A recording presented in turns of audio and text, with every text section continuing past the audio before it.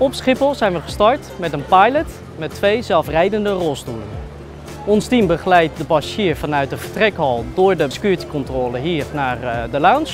Uh, hier heb je een vrije keuze of de assistent brengt u naar de gate of u heeft een vrije keuze om plaats te nemen in deze rolstoel.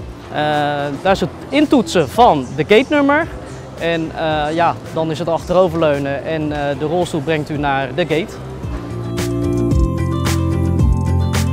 De rolstoel is ingeprogrammeerd met een bepaalde route. Uh, er is ook een vaste route die die aflegt.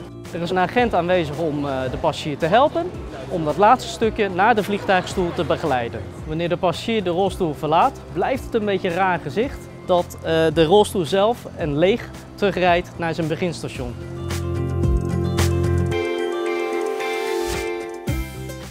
Deze innovatieve rolstoel heeft ook veiligheidskenmerken camera's rondom uh, die ook personen detecteren.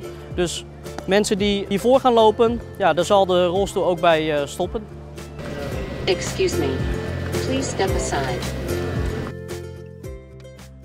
We zien een toenamende mate van behoefte dat passagiers zelfstandig willen reizen, net als jij en ik. Als wij de, uh, nou ja, uh, later wat ouder worden en moeite hebben met lange afstanden te overbruggen, kunnen dan ook de vrije keuze maken om niet begeleid te worden door een van onze assistenten, maar om plaats te nemen in deze rolstoel. Tijdens de pilot zijn er altijd medewerkers aanwezig om de passagier te assisteren.